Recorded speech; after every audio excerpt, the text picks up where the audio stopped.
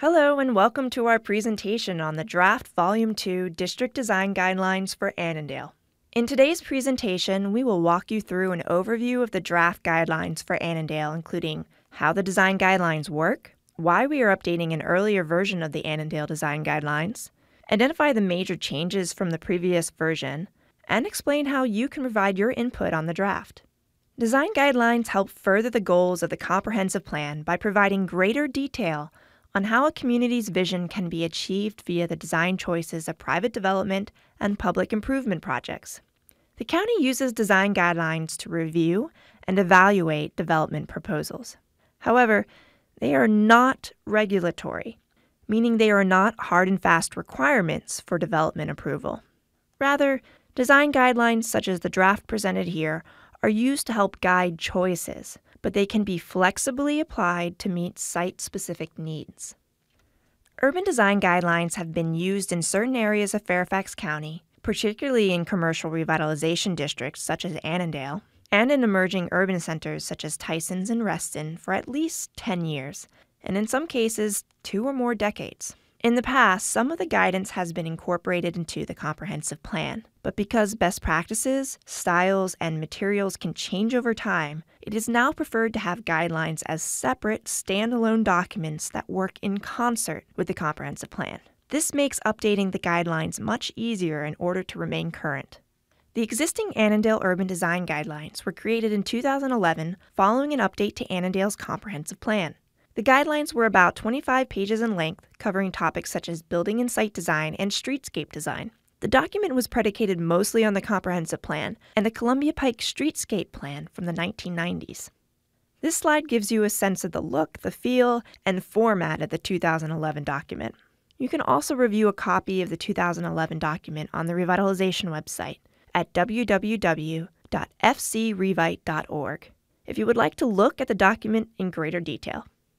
Urban Design Guidelines for Commercial Revitalization Districts and Areas, also known as CRDs and CRAs, can be found on the Revitalization website under the Publications tab. In Fairfax County, Urban Design Guidance for Development in our CRDs and CRAs is contained in two volumes. These volumes work hand in hand. Volume 1 provides big picture guidance and best practices on topics such as site design, landscaping, parking, and street design for all county CRDs and CRAs. These guidelines were endorsed by the Board of Supervisors in 2018 and are in use today.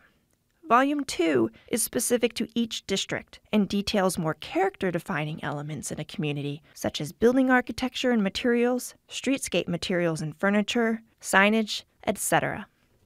In the case of Annandale, design guidelines were created in 2011 following the update to the comprehensive plan. At the time, no Volume 1 for the CRDs and CRAs existed, so that was all that was used to provide guidance in Annandale. However, due to the creation and the adoption of Volume 1 design guidelines in 2018, it was decided that all areas would have a separate Volume 2. Additionally, best practices have evolved considerably since 2011, and so it was determined that an update of the Annandale guidelines was necessary. This process began in late 2018, starting initially with text analysis and agency coordination. It continued in 2019 with updates to streetscape furnishings and materials for the public realm and additional agency coordination. In 2020, additional edits were made, resulting in a final draft in December 2020. Now we are conducting briefings and collecting community feedback on the Draft Volume 2 District Design Guidelines for Annandale. This next series of slides will step through the modifications in more detail, but in general, this update has involved reformatting the document, eliminating redundant text, conceptually integrating separate policies impacting the layout of streets, and finally, updating standards for streetscape materials and furnishings in the public realm. One big change to the design guidelines is the look, the feel, and the organization of the document. On the left, you can see the cover page and topics covered in the 2011 document. On the right, you can see the new cover page design and organization of the district guidelines, including explaining how Volume 2 relates to Volume 1. Chapter 2, Site and Building Design, now has a new topic, electric vehicles, and a new section on townhouses design. These new additions reflect the changing times, as well as the need to provide more guidance to developers on the expectations for how to appropriately step back, orient, and treat a more urban style of townhomes that is appropriate in the Annandale CBC as it transforms over time. Perhaps the biggest change from the 2011 design guidelines is the addition of a new standalone Chapter 3 to the draft. As you can see in the map to the right, Chapter 3 provides an overview of the street network and the classification of different street types and streetscape treatments.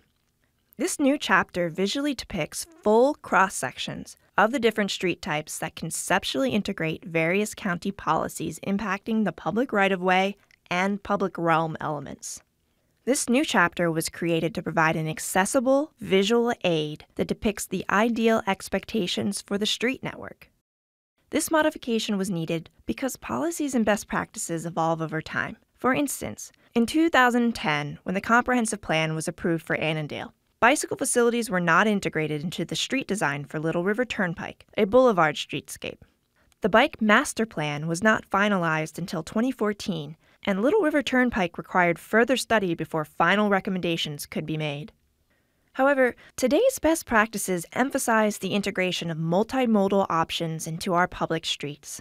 Therefore, these cross sections depict the ideal facilities for all street users in an effort to lessen any confusion that may result from trying to piece together separate policies affecting the street. We will come back to this topic in a later slide. Chapter 4 is dedicated to elements in the public realm. Items such as landscaping, lighting, benches, trash cans, and hardscape materials used to treat sidewalks and paths. This chapter features numerous updates. Section 4A is dedicated to landscaping. This section carried forward a number of recommendations from the 2011 guidance, but also supplements them with new species unique to Annandale, including the suitability of certain trees, shrubs, and grasses and ground covers for different types of spaces such as streets, parks, or plazas. It should also be noted that these recommendations are in addition to those provided in Volume 1. Section 4B outlines the typical hardscape materials that are recommended for sidewalks and amenity zones in the landscape panels. The prior standard for Annandale sidewalks was brick pavers, as can be observed on roads such as Columbia Pike. However, due to maintenance and accessibility concerns associated with brick pavers, the new standard is poured concrete. In the landscape panel, trees with landscaping beds will alternate with amenity zones, small amenity areas that feature limited accent pavers and contain public realm elements such as lighting, benches, and trash cans. One modification that requires additional explanation is the streetscape treatment for the boulevard street type. Little River Turnpike is the only road in Annandale designated as a boulevard street type. As discussed earlier, when the comprehensive plan for Annandale was adopted in 2010, bicycle facilities were not addressed. With time, policies and best practices have evolved, and the need for bicycle facilities, whether separate from the pedestrian path or combined with it, has become paramount to placemaking and improving transportation in and around communities. In Annandale, the portions of existing development along Little River Turnpike makes execution of the streetscape vision more challenging due to the public right-of-way requirements for a future widened Little River Turnpike. Legacy development patterns present in the central core, including small, shallow lot sizes, contributes to this difficulty. In an effort to recognize these constraints, but also achieve the intent of the comprehensive plan vision, the new draft guidelines outline Little River Turnpike as having two distinct zones when it comes to the integration of bicycle facilities unconstrained and constrained areas. In the unconstrained portions of Little River Turnpike, a separate cycle track and sidewalk is proposed to move bicyclists and pedestrians alike. As described before, the material recommendation for the sidewalk would be poured concrete, and the material recommendation for the bicycle facility would be asphalt. In the constrained portion of Little River Turnpike in the central core, an urban shared use path is proposed. This would provide a combined 10 foot bicycle and pedestrian facility to move pedestrians and bicyclists. The material recommendation for the urban shared use path would be tinted poured concrete that complements the pavers in the amenity zone. Furnishings are also an important part of creating the character of the public realm. You may have seen elements such as benches and trash receptacles in parts of Annandale. Under the newest draft guidelines, the recommended bench style will tie in with the existing benches, by featuring a clean, linear line aesthetic. Benches should be black powder coated and have vertical slats for seats and backs, simple details, and armrests. Under the newest guidelines, the recommended trash receptacle style will tie in with the style of the existing trash receptacles in Annandale by featuring a clean, linear aesthetic as well. Trash receptacles should be black powder coated and have vertical slats with simple details. They also should feature weather domes, which could be used to mount smart technology hardware in the future. Smart technology can be used to monitor trash levels and adjust trash pickup times, resulting in resource efficiencies. Bollards are used to distinguish areas where there could be pedestrian and vehicular conflicts. Bollards, when used in Annandale, should be cylindrical and not overly ornamental. Tree grates are no longer recommended due to evolving best practices for the health of trees. Therefore, there is no recommendation for tree grates in the new draft district guidelines. A more stylistic loop for bike racks is recommended in the latest draft guidelines. The finish should be black. The bus shelter style also has been updated to a Euro shelter in black. The new bus shelter style is recommended by the county's Department of Transportation since it is more modern and provides a communication panel. The county's zoning ordinance for Article 12 signs was updated to be content neutral in March 2019, and the existing design guidelines section on signage needed to be updated to reflect these changes.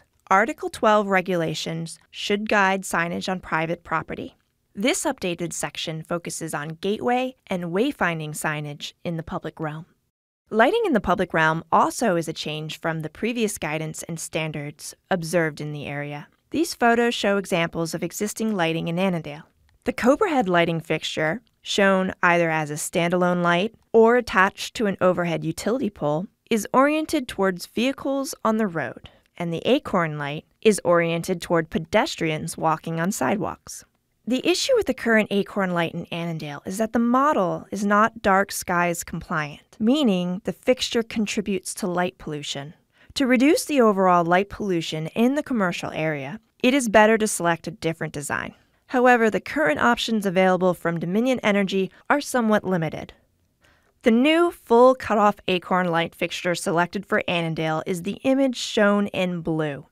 This fixture is dark skies compliant and should be a compatible transitional model until new options are available. The county continues to work with Dominion to expand the options available and, if approved, would favor the bottom pedestrian light shown in red. Also, the new Cobra Light recommendation for larger roads, which require additional illumination, is shown in gold. All lighting fixtures would feature black finish with clean lines, complementing other elements in the public realm. Chapter 4 Public Realm Design now has a new section on public art. The section provides more guidance to developers on how best to incorporate public art into the Annandale CBC as it transforms over time. Finally, a new before and after conceptual rendering is offered in Chapter 3 to help the reader see the future streetscape changes envisioned for Little River Turnpike. In this presentation, we have sought to provide a high-level, yet thorough, overview of the modifications to the 2011 Annandale Urban Design Guidelines that have resulted in the draft Volume 2 District Design Guidelines for Annandale. If you wish to look over the document in more depth, there is a copy provided on the revitalization website for your review. Please fill out the feedback form, and in particular, let us know your thoughts on the furnishings and hardscape materials selected for the public realm. Also, please let us know if you think there is another important topic that we may have overlooked. Submit your feedback on the website by Thursday, February 25th. And finally, feel free to share this opportunity to provide feedback with your Annandale networks. Should you have additional questions, please feel free to reach out to the Annandale Program Manager. Also, continue to stay informed by visiting the revitalization website at www.fc.com revite.org, and follow the prompts to navigate to the Annandale District Design Guidelines webpage. With that, our presentation now concludes. Thank you for your time.